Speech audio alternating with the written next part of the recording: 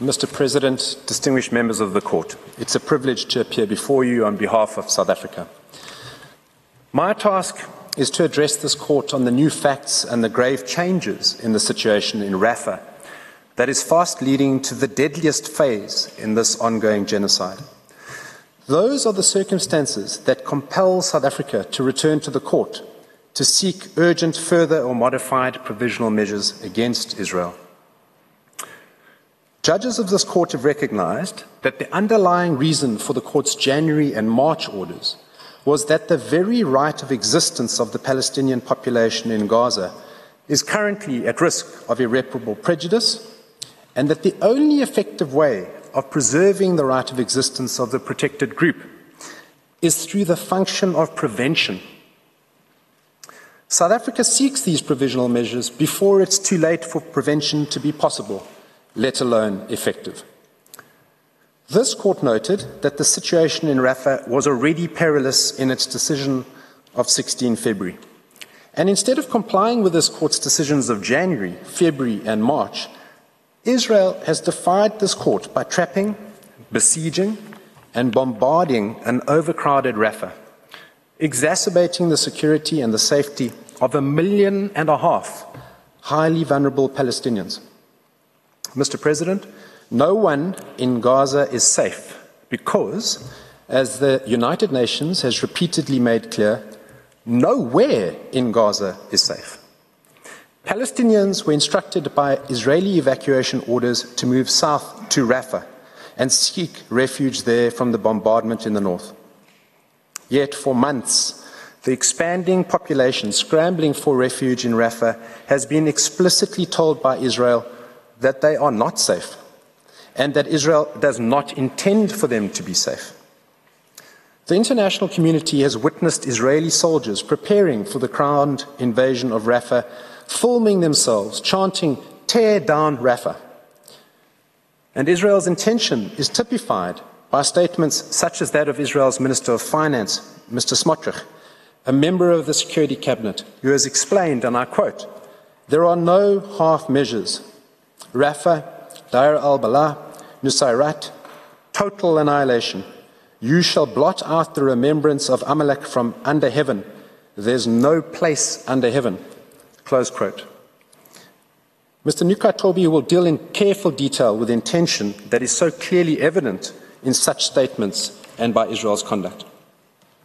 Now, Israel has resolutely resisted all international efforts to persuade and cajole it from eventually attacking Rafah. As we contemplate the horror of recent events and the significance of Rafah for Israel's ongoing assault, the reminders, regrettably, of Srebrenica come into view. Rafah's prominence in the eyes of both the Palestinians in Gaza and the international community lies in it being the most visible of the safe areas in Gaza, which has received significant attention in the international media. To paraphrase the International Criminal Tribunal for Yugoslavia in a decision endorsed by this court, Israel's spectacular destruction of Rafah, despite the assurances of the international community, including this court, and in the full glare of the international media, is intended by Israel to serve as a potent example to all Palestinians of their vulnerability and their defenselessness in the face of Israeli military forces, and to be emblematic of the fate of all Palestinians in Gaza. To use Mr. Smotrich's words, that there is no place under heaven that they're safe. South Africa has made clear in its request of 10 May that not only is there nowhere for the one and a half million displaced people and others in Rafah to safely flee, so much of Gaza having been reduced to rubble, but that if Rafah is similarly destroyed, there will be little left of Gaza or prospects for the survival of Palestinian life in the territory. Rafah is where Gaza's largest, still partially functioning hospitals are situated. Attacks on Rafah's hospitals, akin to those mounted by Israel against hospitals elsewhere in the Strip, would therefore deal a fatal blow to Gaza's already crippled healthcare system. And at the same time as these assaults, aid is being throttled. That throttling is done defiantly and de- deliberately.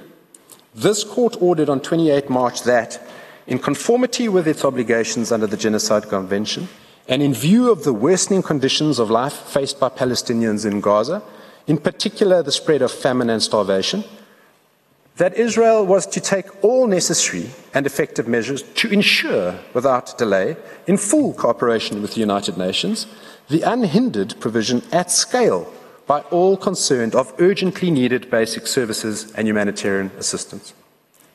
That included an express order that Israel increased the capacity and number of land crossing points and maintaining them open for as long as necessary. And Israel was also ordered to ensure, with immediate effect, that its military does not prevent through any action the delivery of urgently needed humanitarian assistance. Why was that order so critical? Well, because the two border crossings in Rafah, which Israel has seized and shut down, are the main entry points for life saving humanitarian aid and other goods entering Gaza, and for the entry and exit of people, including humanitarian workers, medics, medical evacuees, and Palestinians trying to flee the conflict. Israel's seizure of those crossings places Israel in control of all access to and from Gaza. Its current closure of the crossings has served to seal Gaza hermetically from the outside world, further torpedoing the delivery of aid to and within Gaza. And as the primary humanitarian hub for assistance in Gaza, if Rafah falls, so too does Gaza. And deliberately herding one and a half million Palestinians into Rafah and then carrying out a full scale bombardment while sealing off entry and exit for life saving aid to an already devastated population, while exposing them to famine and human suffering, leaves only one inference, regrettably, and that is of genocidal intent. I turn now to consider the topic of Rafah as a supposed place of refuge. Ten days ago, Rafah was described as the last refuge for Palestinians in Gaza. It was the only remaining area of the Strip which had not yet been substantially destroyed by Israeli attacks. Over the past seven months, hundreds of thousands of Palestinians were ordered by Israel to evacuate to Rafah for their safety, some forcibly being displaced for the ninth time. Desperate, terrified, and clinging to life by a thread, these Palestinians have sought shelter, often in makeshift tents or under sheets of scrap plastic in the tiny and densely crowded city of Rafah, hoping against hope to stay alive in the ongoing Israeli bombardment. A city of children, Rafah has become home to some 600,000 Palestinian children and babies, many of them orphaned or disabled by Israel. And recall that they joined the staggering reality, according to UN Women, that among the dead in Gaza are an estimated 6,000 mothers, leaving 19,000 children orphaned. In addition to being the population center, Rafah is the primary humanitarian hub of Gaza, as I've said, and the only remaining area of the beleaguered strip with the infrastructure and the resources to host the over 1 million displaced Palestinians, albeit in a situation that has been described by the UN as a pressure cooker of despair. But Rafah, Your Excellencies, is no refuge, it's no safe place. On 6 May, Israeli forces ordered around 100,000 Palestinians to evacuate the eastern portion of Rafah. Many were simply unable to flee. Children and elderly people are so starved that they can barely walk. They cannot just relocate to another area, to so called safe zones. It's just not possible. And even for those who are able to leave, they've nowhere left to go. Yet again, Israel's use of evacuation orders and designation of humanitarian zones are purely performative. They endanger rather than protect civilian life. So called humanitarian zones are not safe. The zones are policed by the same Israeli forces who have attacked Palestinians in their homes, in makeshift tents, in public markets, schools, and playgrounds in agricultural greenhouses while waiting for aid, by aid dropping from the sky, while attempting to return to their homes, despite waving white flags, and above all else, while sheltering in and seeking treatment from hospitals. Rafah as a place of refuge or safety remains a cruel distortion for another reason, Your Excellencies. For months, Israel threatened to invade Rafah leading the UN Secretary General to warn that an assault on Rafah would be a political calamity and a humanitarian nightmare, which was also, of course, highlighted by this court in its decision of 16 February. We are before this court urgently because Palestinians are now having to live out that nightmare. On 7 May, just 15 hours after the evacuation orders were issued, Israel commenced a severe and sustained military assault on Rafah, which is ongoing and it has intensified in the intervening period until today, killing and injuring Palestinians and destroying their makeshift homes and the remaining infrastructure necessary to sustain life in Gaza, including all aid and medical infrastructure in its path. Israel deliberately attacked the very shelters to which it directed Palestinians to flee.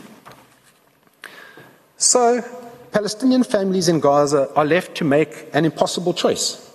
Either they stay, trapped and likely killed alongside their loved ones in Rafah, or they head out into the few bits of remaining land in Gaza, now filling up with tents and shacks built of bits of wood and nylon and vulnerable to attacks. The overwhelming majority have no means to flee other than on foot. There is nothing humanitarian about these humanitarian zones. Then on 11 May, the Israeli military issued a new round of evacuation orders affecting some 34 neighborhoods in eastern Rafah and North Gaza. UN agencies estimate in total that approximately 20% of Gaza's population have been displaced yet again in the past week alone. By 10 May, an estimated 110,000 people had fled Rafah. By yesterday, 15 May, this number had increased to around 600,000, according to the UN. And all the while, and now by these actions, Israel's genocide of Palestinians continues through military attacks and man made starvation, and while mocking this court's provisional measures of protecting the rights of Palestinians under the Genocide Convention. A critical part, Your Excellencies, of Israel, Israel's defiance of this court's orders comes in relation to aid and food itself.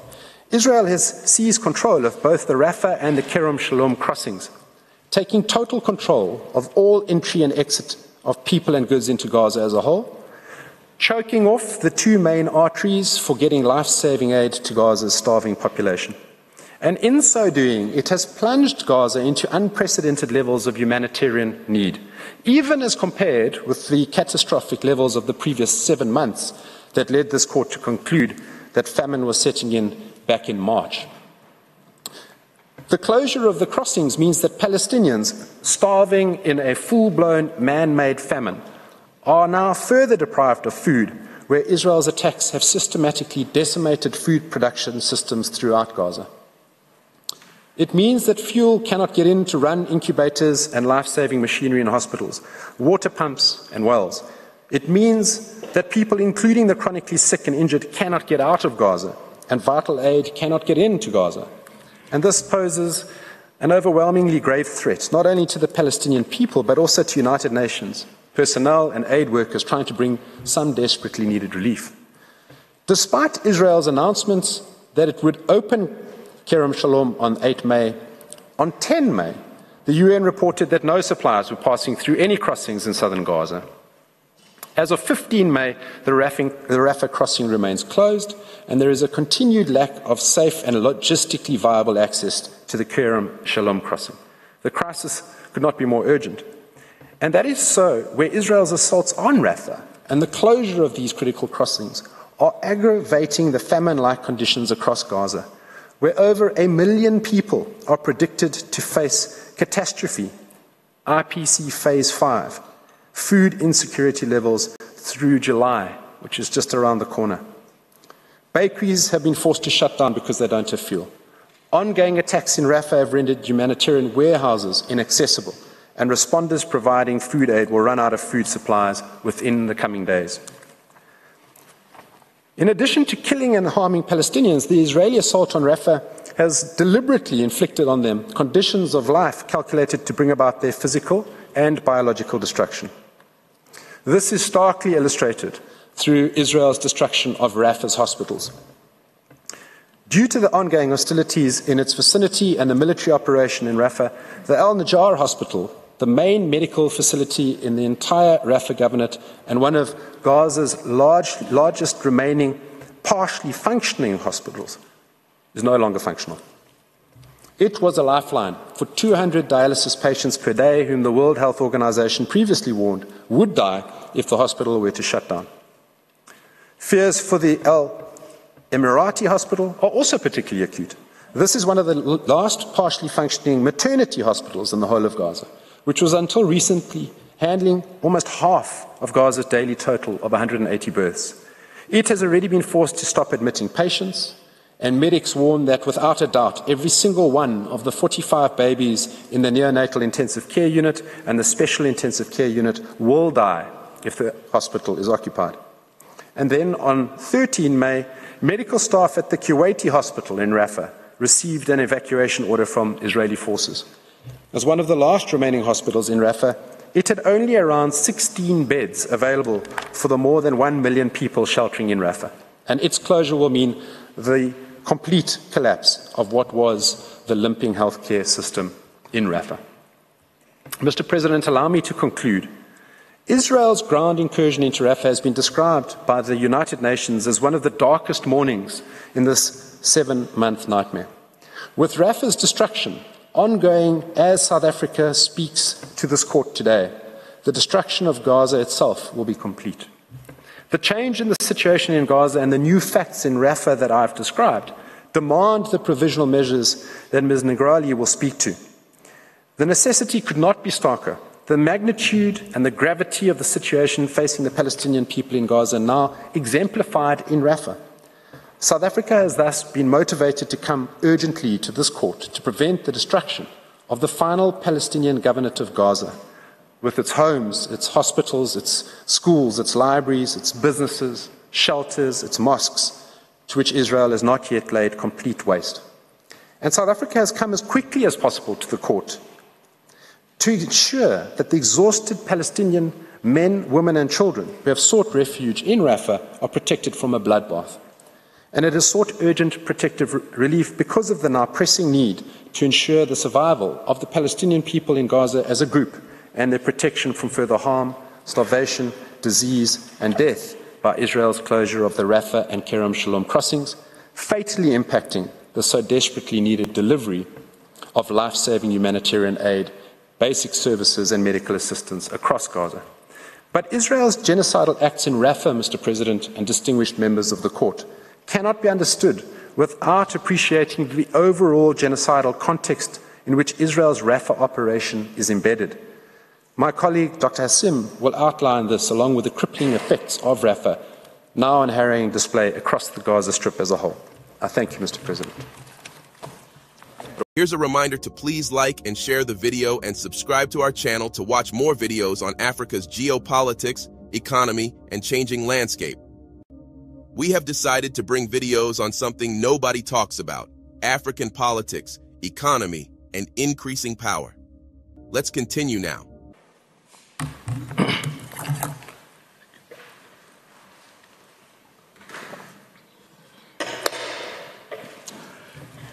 Mr. President and members of the court, it is a privilege to appear on behalf of South Africa.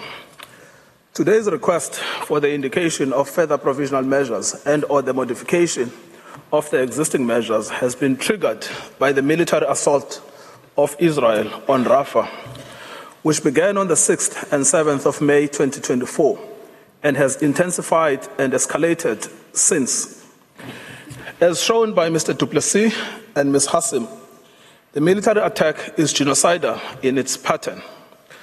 I shall demonstrate that it is also consistent with the explicit, stated, and continuing genocidal intent of the State of Israel. Firstly, to the knowledge of Israel, Rafah is the last refuge of Gaza, the only remaining area in the Gaza Strip which has not been substantially destroyed by Israel, the only area that can host displaced people, the only remaining center of humanitarian aid, and the host to one of the few remaining large hospitals across the entirety of Gaza. Rafah is the last stage of the total annihilation of Palestinian life. Without Rafah, the possibility to rebuild and reconstruct Palestinian life will be lost forever. For Palestinians to continue to exist as a protected group under the Genocide Convention, they need a place from which to rebuild. As we stand here today, Rafah is that place, the last stand. Secondly, Israel also knows of explicit warnings about the genocidal consequences of an attack in Rafah. On 6 May 2024, the Director General of the World Health Organization warned that a full military incursion into Rafah will plunge the crisis into unprecedented levels of humanitarian need. On 8 May 2024, two days after the military attack had begun, he stressed that one of the three hospitals in Rafah, Al Najjar, was no longer functioning due to the ongoing hostilities in its vicinity and the military operation in Rafah. Since the border was closed, the United Nations was prevented from bringing fuel, without which all humanitarian operations would stop. Martin Griffiths, the United Nations relief chief, has rung alarm bells he has warned that the simplest truth is that a ground operation in Rafah will be nothing short of a tragedy beyond words. No humanitarian plan can counter that. The rest is detail. Palestinians do not need any more diplomatic gesturing, no more abstract words, no more virtuous condemnations and denunciations of Israel's actions. There is no more time to spare. It is simply now or never. Israel has knowledge of the pronouncements I have cited above. After all, each of them was made publicly. Thirdly, the state of Israel knows of the decisions of this court, which bear on it as a state party to the Genocide Convention directly and require of it to respect its obligations under the convention and the moral and legal authority of this court. The decision of this court on 26 January 2024 noted that the civilian population in the Gaza Strip is extremely vulnerable and that the catastrophic humanitarian situation in the Gaza Strip is at serious risk of deteriorating further before this court renders its final judgment. Bearing this in mind, the court recognized that the military operation conducted by Israel after 7 October 2023 has resulted inter alia in tens of thousands of deaths and injuries and the destruction of homes, schools, medical facilities, and other vital infrastructure, as well as displacement on a massive scale. In light of this situation, Israel was ordered to ensure with immediate effect that its military does not commit any acts that fall within Article 2 of the Genocide Convention. One of the measures indicated expressly required of Israel to take all measures within its power to prevent and punish the direct and public incitement to commit genocide in relation to members of the Palestinian group in the Gaza Strip. In the decision of 16 February 2024, this court was compelled to demand that Israel immediately and effectively implements the court's order of 26 January 2024. This court cautioned that the most recent developments in the Gaza Strip and in Rafah in particular would exponentially increase what is already a humanitarian nightmare with untold regional consequences. In the order of 28 March 2024, this court observed with regret the existence of exceptionally grave circumstances since its order of 26 January 2024 and its decision of 16 February 2024 that the catastrophic living conditions of the Palestinians in the Gaza Strip had deteriorated further, in particular in view of the prolonged and widespread deprivation of food and other basic necessities to which the Palestinians in the Gaza Strip have been subjected. The court issued its orders clearly highlighting the worsening conditions of life faced by Palestinians in Gaza. Israel was ordered to ensure with immediate effect that its military, through any action, does not commit acts which violate the rights of Palestinians under the Genocide Convention. So far, Mr. President, what I have said is not inference, not imputation. It is direct knowledge which bears on the state of Israel, its political leaders, and the members of its army. They know about Rafah and its centrality to the sustenance of Palestinian life at the present moment. They know the views of the organs of the United Nations about the consequences of a military attack on Rafah. They know what this court has ordered on each of the three occasions I have referenced. Yet, Israel's leaders have continued to incite genocide and to express their own genocidal intent. In doing so, not only has Israel ignored its obligations as a state party to the Genocide Convention, it has also treated this court with contempt and threatened the rule of law. Let me demonstrate this. Members of the Israeli Ministerial Committee on National Security Affairs and the War Cabinet have simply continued with incitement to genocide. First, the Israeli Prime Minister, Benjamin Netanyahu, who is a member of the War Cabinet and the Security Cabinet, has gone beyond any reference to Hamas alone. Instead, he has described Israel's aims in the military assault as being to ensure that Gaza will never again constitute a threat to Israel. He describes Israel's objective as being to achieve total victory underscoring that no force in the world will stop us. We will stand alone, emphasizing that Israel will fight, will fight with its fingernails. Second, the Israeli Minister of Defense, Yoav Gallant, a member of both the War Cabinet and the Security Cabinet, has made it clear that Israel is taking apart neighborhood after neighborhood and will reach every location in Gaza.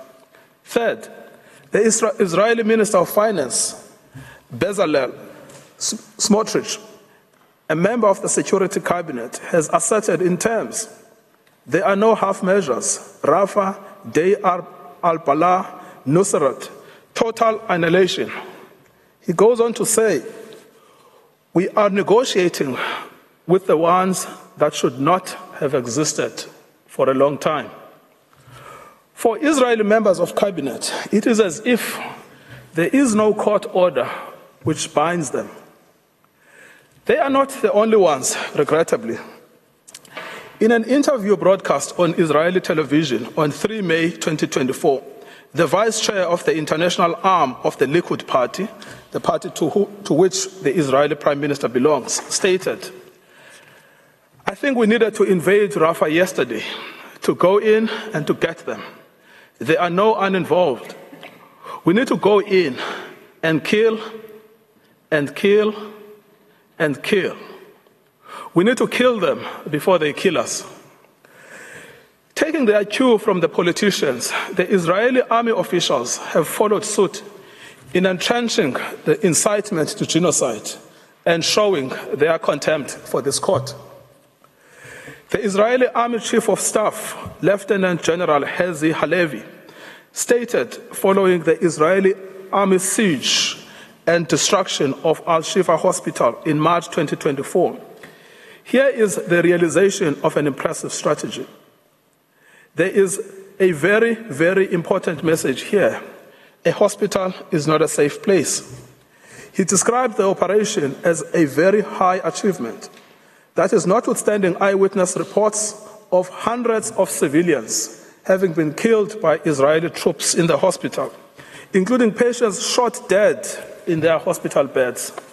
Mass graves and hundreds of Palestinian bodies were found following the withdrawal of the Israeli army from Al Shifa hospital, including bodies with cannulas in their arms, some with their limbs tied.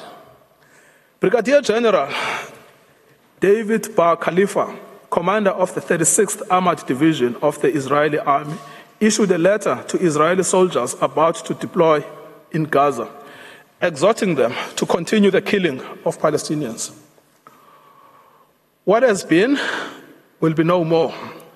We shall go out to it in war. We shall pulverize every accursed plot of land from which it came. We shall destroy it and the memory of it. Brigadier Khalifa has faced no investigations, nor has he been relieved of his command. This is despite the explicit order of this court for investigations into cases of incitement to genocide. Brigadier Khalifa was, in fact, promoted to the rank of major and the head of the Israeli Army Personnel Division. Similarly, when 130 senior officers in, in, the Israeli army penned a letter calling on Israel's war cabinet to not allow humanitarian suppliers, supplies and the operation of hospitals in Gaza, they were not charged with incitement or prosecuted. One of the officers would later be named as involved in the killing of World Central Kitchen workers. Genocidal rhetoric is not punished but rewarded by the Israeli government. On 6 March 2024, reservist First Sergeant Yachin, a veteran from the April 1948 Deir Yassin massacre of at least 250 Palestinians, was rewarded with a certificate of thanks and commemoration by the Israeli president for his motivational speeches he gave to Israeli soldiers as they prepared for the ground invasion of Gaza in October 2023. In at least one of those speeches, he had said, Erase the memory of them, erase them, their families, mothers, and children. These animals can no longer live.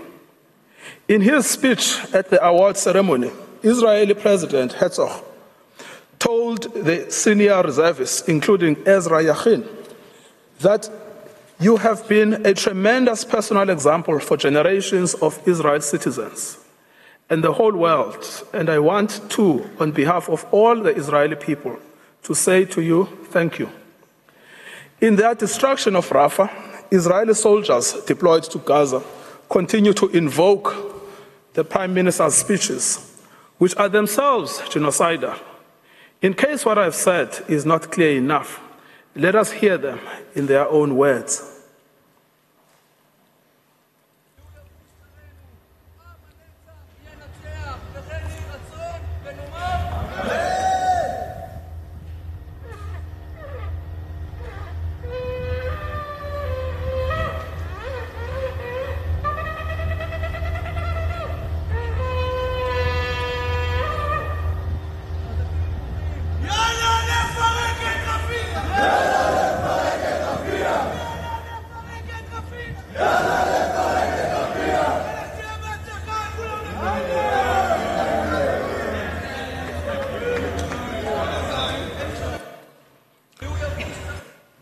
Destruction of Gaza and Palestinian life is understood by commanders and soldiers, as the video shows.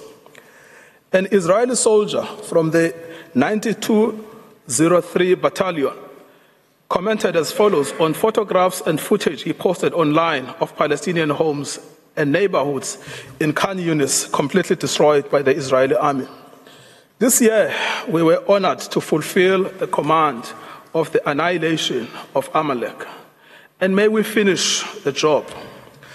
Such language continues to be widespread alongside calls by Israeli soldiers on the ground to conquer Gaza, to flatten Gaza, to erase Gaza, to destroy Gaza, and after that, Ramallah also. Israeli soldiers serving in Gaza continue to openly call for the deaths to Arabs declaring, May you burn alive, that Gaza is burning, that we will burn your mother, and that all of Sajaiya will burn in flames. The aims of Israel is to do no less than what its own Minister of Finance has stated. That is to ensure the total annihilation of Palestinians that will erase the memory of Amalek. He has also called for Rafah to be completely conquered, and the sooner, the better. Israel's genocidal intent continues to receive support and endorsement at the Knesset. As Tali Gottlieb, a member of the Knesset and the Prime Minister's party, has stated, to attack Rafah as we attacked in the Northern Strip, unlike the responder, intentionally, not specifically addressing, but rather the entire Rafah system, to attack mercilessly from the air, instead of turning an eye to the Hague court, turn an eye to the people of Israel. Public statements such as this show that even members of the Israeli parliament are fully aware of the orders of this court, but have continued to openly incite genocide without censure. Such sentiments are also widely expressed across Israeli society. Many Israelis, including Israelis living in illegal settlements in the West Bank, have actioned statements by government officials calling for the denial of aid to Gaza. By destroying food aid on its way, including setting trucks on fire, putting sugar in tanks, and destroying the food itself. Israeli public officials, including singers inciting to genocide in Gaza, have had their incitement rewarded.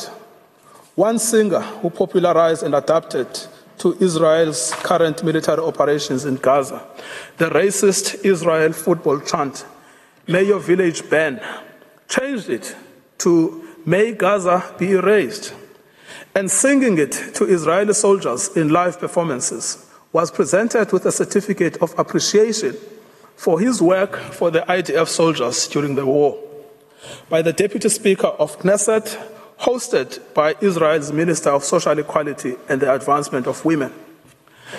Another singer referenced by South Africa before this court in the January 2024 application for his call to erase Gaza and not to leave a single person there has similarly been rewarded.